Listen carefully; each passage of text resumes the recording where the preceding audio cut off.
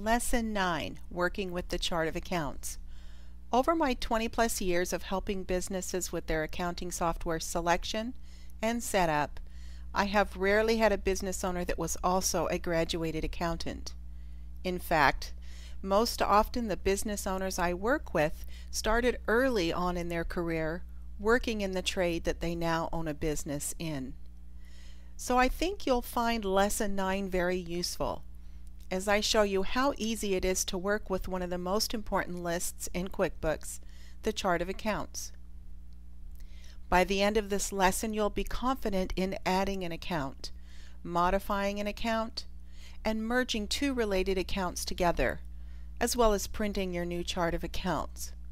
We'll even get ready to send a copy to your accountant for their review.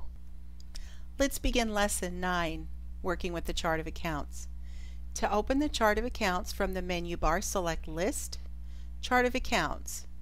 Optionally, you can use the keyboard shortcut Control plus A. You can also open the chart of accounts from the company section of the home page. With the chart of accounts dialog open, you'll see in the first column the name of the chart of account.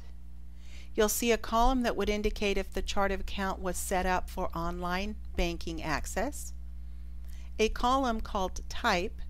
This is what QuickBooks uses to determine the placement of the account on either the balance sheet report or the profit and loss report. There may be an account or two listed here that will not display on either of those reports. And the last column would indicate a balance total only for the balance sheet type accounts. To begin working with the chart of accounts, let's go down to the lower left to an account button. Once selected, we have the option to create a new account, edit an account, and a few other options. You may access these by clicking on the account button or selecting the related keyboard shortcut. Let's create a new chart of account. This dialog, Add New Account, Choose Account Type, has been greatly improved over the last few years.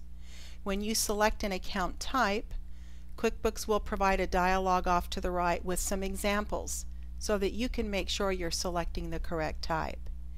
If you do not see the category you wish to assign in either of these two groupings, simply click on the Other Account Types drop-down and pick the appropriate account type. If you have any questions on the proper account type, you should consult with your tax accountant. I'm going to select continue.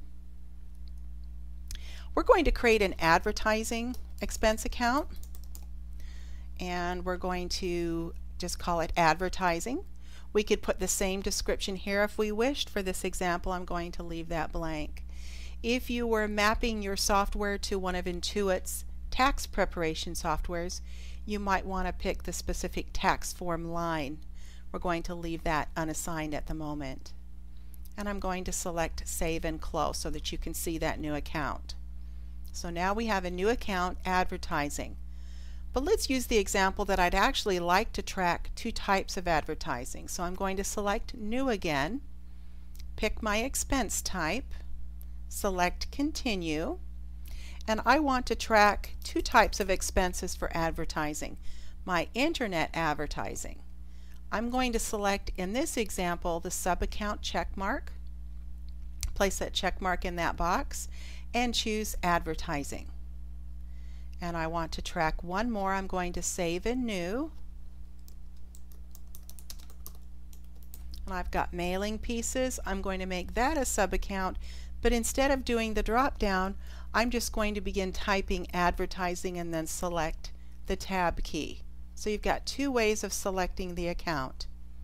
I'm going to save and close. And you'll see that we now have an advertising expense account with two related sub-accounts. This way we can track our expenses for advertising in these two sub-accounts. You might also notice on this chart of accounts I have an office supplies and an office supplies miss. I have what appears to be duplication and I have several ways of handling this duplication. I can delete one or the other if it's not been used. So if I have no transactions posted to Office Supplies Miss, simply highlight the account, select the account button, and select the delete or use the Control plus D keyboard shortcut. Now that's easy to get rid of an account, but rest assured if you have transactions that have posted to that account, you will not be able to delete it.